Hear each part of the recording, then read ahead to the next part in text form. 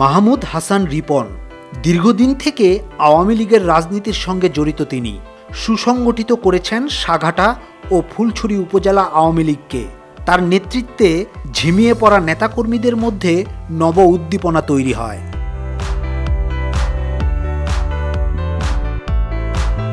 মাহমুদ হাসান রিপন দুই হাজার ছয় সাল থেকে দুই হাজার এগারো সাল পর্যন্ত বাংলাদেশ ছাত্রলীগ কেন্দ্রীয় কমিটির সভাপতির দায়িত্বে ছিলেন। বর্তমানে তিনি আওয়ামী লীগের ত্রাণ ও সমাজ কল্যাণ বিষয়ক উপকমিটির সদস্য।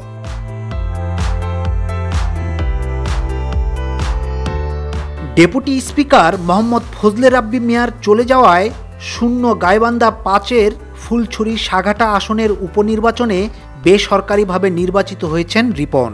এর আগে গত বারোই অক্টোবর এই আসনে ভোট হয়। কিন্তু ইসি কার্যালয় থেকে সিসি ক্যামেরায় গাইবান্ধার নির্বাচন পর্যবেক্ষণ করেন সিইসি ও অন্য কমিশনাররা। অনিয়ম ধরা পড়লে বন্ধ করা হয় ভোট।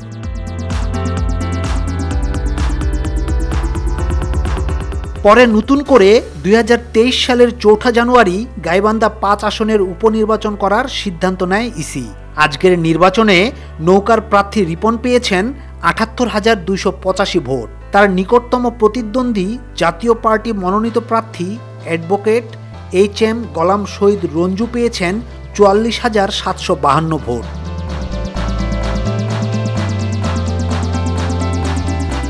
ভোট গণনা শেষে রিটার্নিং কর্মকর্তা ফরিদুল ইসলাম এ ফলাফল ঘোষণা করেন। এর আগে সকাল সাড়ে আটটায় গাইবান্ধা পাঁচ আসনে উপনির্বাচন শুরু হয়। চলে বিকেল সাড়ে চারটা পর্যন্ত। সকালে কনকনে শীত উপেক্ষা করে কেন্দ্রে আসেন ভোটাররা। তবে ইভিএম ধীরগতির অভিযোগ ছিল ভোটারদের।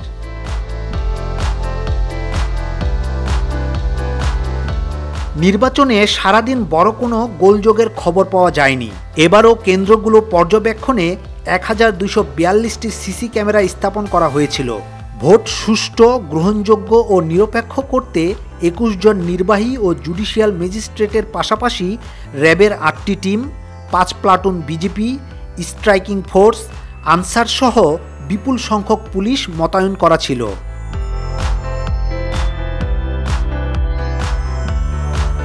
উনিশশো তিয়াত্তর থেকে দু হাজার আঠারো সাল পর্যন্ত এই আসনে জাতীয় সংসদের মোট এগারোটি নির্বাচন অনুষ্ঠিত হয়। এর মধ্যে পাঁচবার জাতীয় পার্টি, চারবার আওয়ামী লীগ ও দুইবার বিএনপি জয়ী হয়।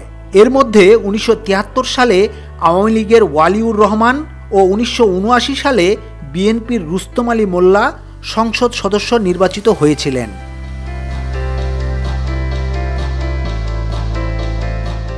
এরপর উনিশশো ছিয়াশি থেকে উনিশশো ছিয়ানব্বই সাল পর্যন্ত জাতীয় পার্টির টিকিটে পরপর চারবার প্রয়াত ফজলে রাব্বি মিয়া সংসদ সদস্য নির্বাচিত হন। পরে দলবদল করে ফজলে রাব্বি মিয়া দুই হাজার এক সালের নির্বাচনে আওয়ামী লীগের টিকিটে প্রথমবার প্রতিদ্বন্দ্বিতা করেন। এই নির্বাচনে হেরে যান তিনি।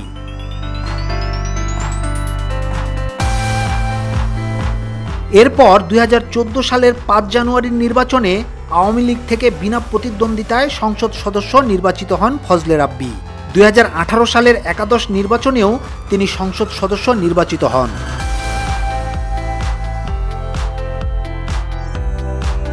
সাদা কালো নিউজ।